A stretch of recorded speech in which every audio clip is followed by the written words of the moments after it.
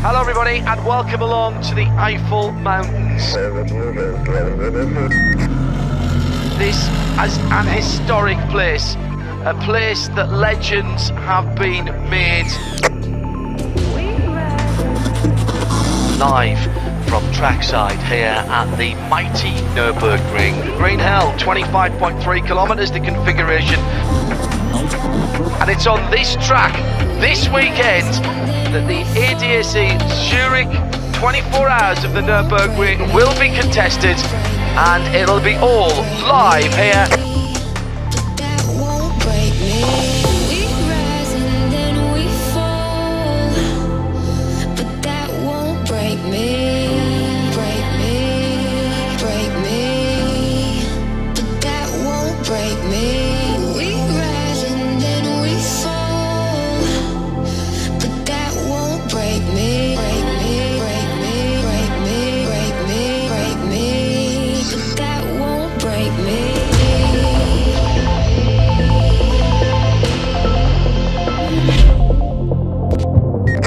Again when the goosebumps are beginning to form on the arms. It's that brilliant grid and bonkers all at the same time.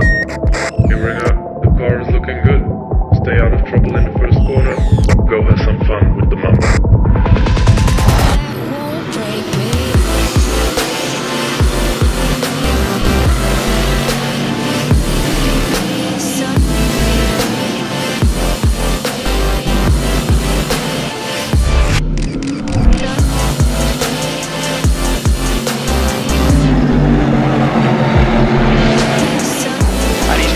First into the barrier, left hand front corner damaged on that Mercedes. Bring the car in for repair.